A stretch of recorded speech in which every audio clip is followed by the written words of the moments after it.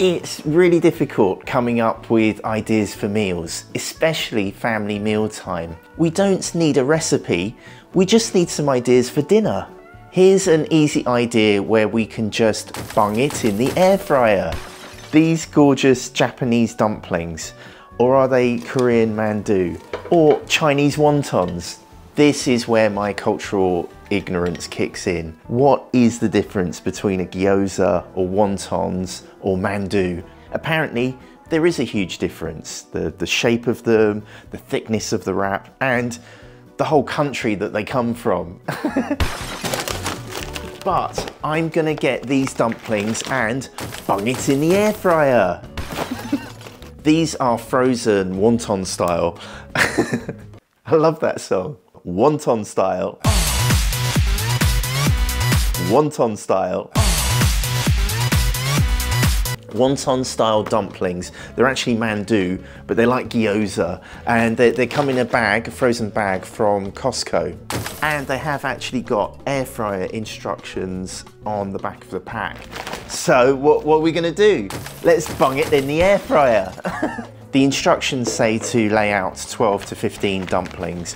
I'm, I think I'm gonna go for 15 rather than 12.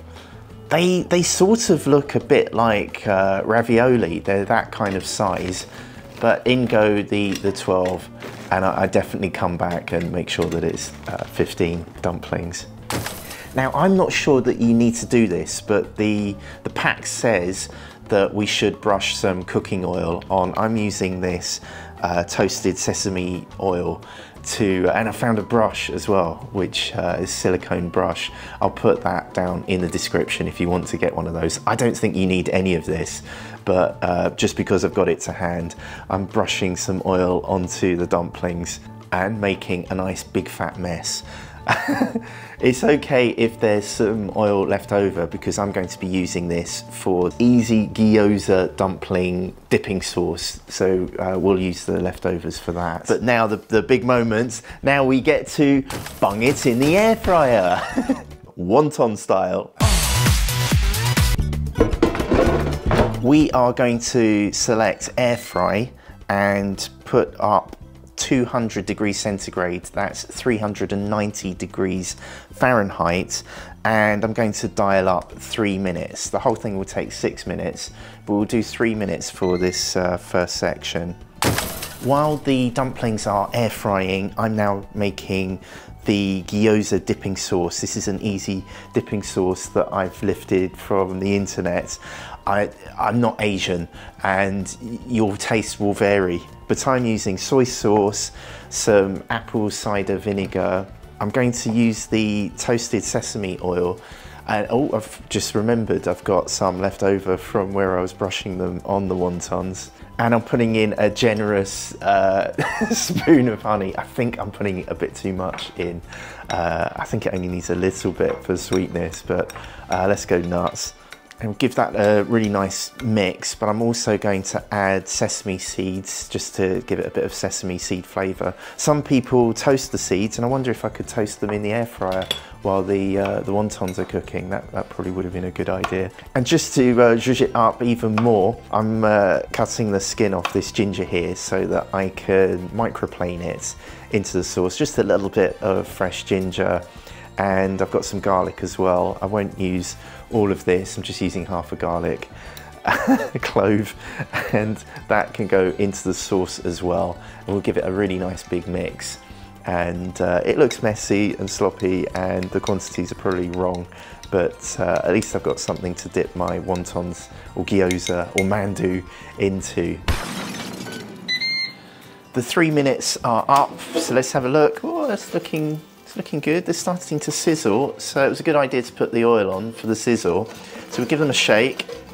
Let's turn them over, but then, well, I can turn that one over.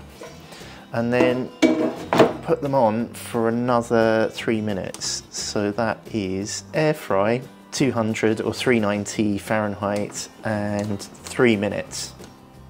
Go. The extra three minutes are nearly up, so let's have a look.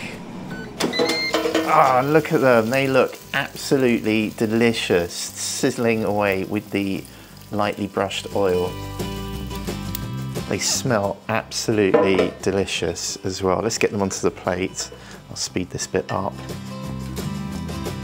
I have no idea why I love Asian food so much. I, I'm gonna have these for breakfast. They, are, they look absolutely sumptuous. Usually I boil these in a pot of water because it's easier, but they tend to fall apart and you don't get that crisp texture for the, the wrap. Look at them, these look absolutely succulent. I know once I finish this plate off, I will probably air fry another batch to use the sauce up. Let's hold off no longer. Maybe I should get some chopsticks. All right, so this is uh, this is how you know you're in a Western household. Mismatching chopsticks. Right, let's give this a try. I'm going to try and do this and hold the camera. I don't know if this is going to work. Oh. oh, with the dipping sauce, it is absolutely delicious. Let me open one up for you. Oh, it's steaming up. I was going to bite into this and show you the inside, but that would be disgusting, wouldn't it? So let me let me be elegant and cut it open with a knife.